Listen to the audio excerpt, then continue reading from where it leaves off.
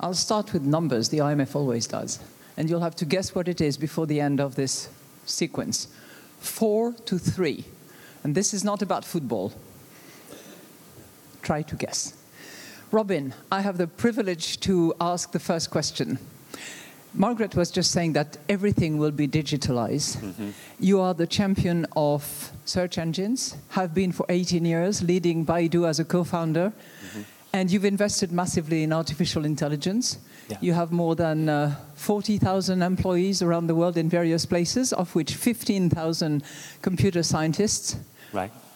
Can you describe for us what the world will be with artificial intelligence playing a key role? Yeah, it's going to be huge, the, the impact of artificial intelligence on the society. Uh, I think uh, we are lucky when, when Baidu started about 18 years ago. Uh, we just entered, the, the, the world just entered the age of the internet. Uh, so at that time, China had less than 10 million internet users. Today, How many? 10, 10 million. million. Yeah, that's the beginning of 2000. And today we have more than 800 million. So we enjoyed a tremendous ride uh, of the internet age. Uh, but I would say if the internet is the appetizer, then AI is the main course. The impact of AI will be much larger than the internet. So over the past couple of decades, every one of us experienced the, the change of the society because of the internet, but we will experience much larger change over the next few decades because of AI. Uh, especially uh, as the technology advances, so uh, computers can now understand humans better uh, from voice recognition, from computer vision, from natural language understanding, and from a lot of data generated by, uh, by the, the users and the internet companies. So we will see a lot of changes. The internet changed changed a lot of our daily life, but did not have much impact on uh, on the, the to B industries, so to speak. And I think AI will change that too. AI will change both the, the to C businesses, like our everyday life, but it will also change manufacturing, energy, uh, education, healthcare, lots of things uh, from industry to industry.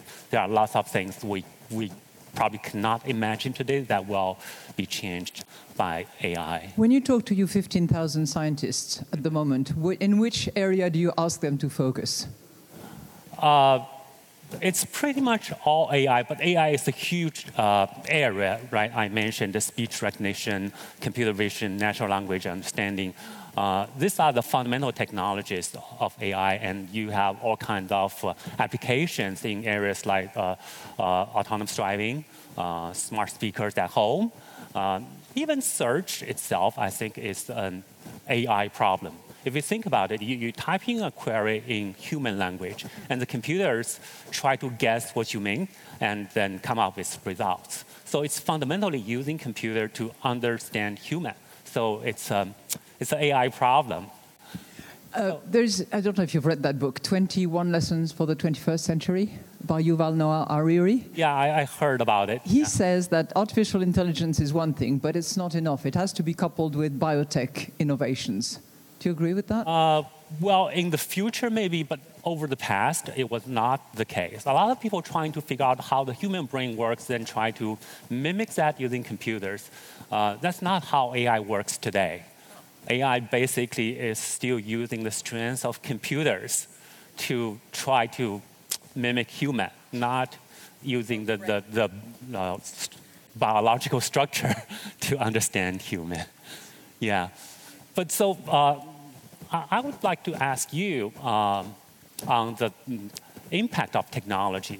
Uh, we all know that technology has a lot of impact on society, on the markets. But how about the financial system? Since you took office seven years ago, about seven years ago, uh, has the world's financial system changed due to technology? And is there any impact to you and to IMF? Well, I'll give you a very, very basic example at the International Monetary Fund, yeah. uh, seven years ago when I started as managing director, there was the word fintech was not in current use in the institution. Now we have a lot of economists and financial experts actually working on fintech and trying to identify what are the benefits and uh, the, the threats as a result of fintech. You know, you can think of uh, the use of um, so just mobile. threats, not opportunities. Well, it's both. No, no. It yeah. has. It, let me say a word about opportunities. Uh, when you talk about mobile banking, uh, you look at countries like like Peru, like Kenya, uh, like the Zambia, like many other sub-Saharan African countries where people and women in particular did not have access to financing, did not have did not have the ability to transact and were at threat of being robbed, of being uh, abused.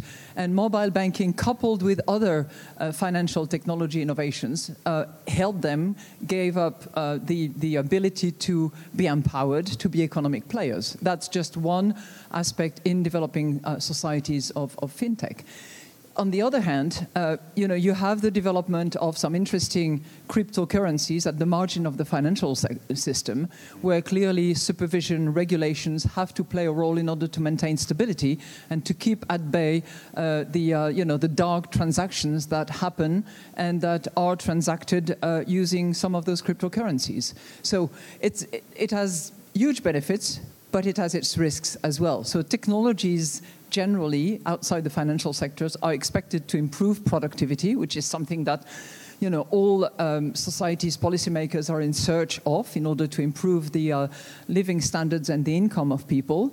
But it, it's associated with threats. And I was going to ask you that actually. Yeah. Uh, there are lots of numbers floating around. You know, how many um, millions of jobs will be under threats, will be uh, disappearing as a result of artificial intelligence. There are other numbers which are saying, no, no, no, it's actually a net plus. Yeah. And there will be many more jobs created than jobs destroyed as a result. Yeah. I'll tell you about a finding from the IMF once you've addressed that question. So, All right. over yeah. to you. Yeah. Uh, you know, I'm an entrepreneur. I'm always um, optimistic. But when I uh, look at uh, the, the changes, I always think uh, about how can we make things better because of this, uh, this change. And uh, I agree with you that uh, a lot of jobs could be replaced by machine uh, uh, in the future, but a lot more jobs will be created by technology advancement, especially. So you think it's AI. a net positive? Uh, I think so. Although uh, at this time, it's hard for me or for anyone to imagine what uh, exact opportunities, new uh, you know, job opportunities will be created. But uh, I can give you a few examples that I can think of. Uh, first is the so-called labeling problem. in AI, when we try to train the computers to learn to, to behave like a human, computers need a lot of data, a lot of the so-called labeled data, meaning that you need to have the, the, the question and answer pairs, and uh, it's usually done by human. It's the tagging of data that we sometimes struggle yeah, with. Uh, yeah, exactly. Yeah. You need okay. a lot of that data in order for the, the, computers to, to learn. That will create a lot of jobs for people who are uh, in the labeling industry. And uh, as the computer gets smarter and smarter, we, we will probably need a lot more labeling. This is not like replacing human uh, jobs, but uh, enhancing humans' capabilities. Um, in healthcare, uh, uh, there's a term called CDSS. I think it's a clinical decision support system. It's not trying to replace doctors. It's trying to help the doctors to make better decisions, right? Th these are the, the, examples that AI is helping um, the mankind, but not replacing human labors. And you all, uh, as the, the uh, efficiency or productivity uh, continue to improve, I think uh, people don't need to work long hours like we are today. Then they have more time to, to enjoy, uh, to, uh, to consume more content. And content. That's assuming they have an income.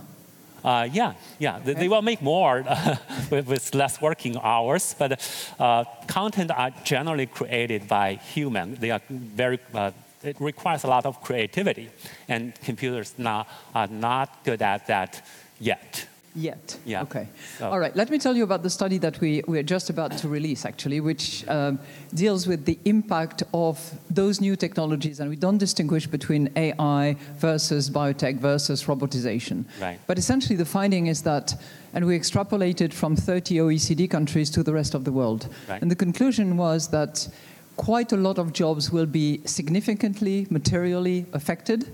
Yeah. Uh, when we look at those uh, 30 countries, it will be uh, about 26 million jobs that will actually probably disappear. The second findings, which I, I thought was interesting, is that because it applies essentially to those tasks that are repetitive, and because there are wo- more women doing those jobs, Right, right. women are likely to be more affected than men by the impact of artificial intelligence on the labor market. Do you think that's true? Uh, it, it could be true, but uh, like I said, uh, that's just you know one side of the, the coin. There's another side that you know labeling is. You can also say it's kind of repetitive. You, you, you need Yeah, but you need to apply label. judgment. Yeah. Uh, yeah, No? relatively simple judgment. It's not that hard. For example, if you try to teach uh, the, computer to drive, um, it's not that hard. You know, most people, when, when they grow up, they can learn how to drive. But it's actually very, very hard for computers to learn how to drive. Although, you know, companies like Baidu and, and uh, quite a few other companies and, and Ford uh, too are working on autonomous driving, and we are quite a few years away from truly, you know, self-driving. Uh, it, it's uh, it's still, uh, I would say, uh, highly autonomous uh, vehicles, not really completely, uh, you know, uh, free from drivers. So uh, we will use computer to enhance uh, the, the human activities. You don't want to replace us. Right? No, no. Uh, there's. Uh, Okay. Do yeah, I, am I allowed one more question? I'm, Yeah, I'm yeah. expected to, to, to really speed. I want to ask you one. Uh-huh. Because you have 40,000 employees around the world, many of whom are in China. Mm-hmm. Are you enjoying a regime, an environment, a framework that enables you to uh, research, develop um, anything you want? Uh, pretty much yes. I, I, I think. Uh, Too much. Yeah, we have lots of engineers, and uh, China is a big market. There are lots of people, and uh, we, we have like hundreds of millions of users use our services every day, and a lot of data is generated. Uh, we can use uh, data to, to, to learn how to improve our services. So uh, we, we do have a lot of opportunities to innovate. But that being said, there are constraints like uh, you know how do you provide uh, protect privacy and how do you make sure that it that the technology does not go out of control that that's do bad things to, to the mankind. There there are things that we need to worry about, but I do see more opportunities than, than threats.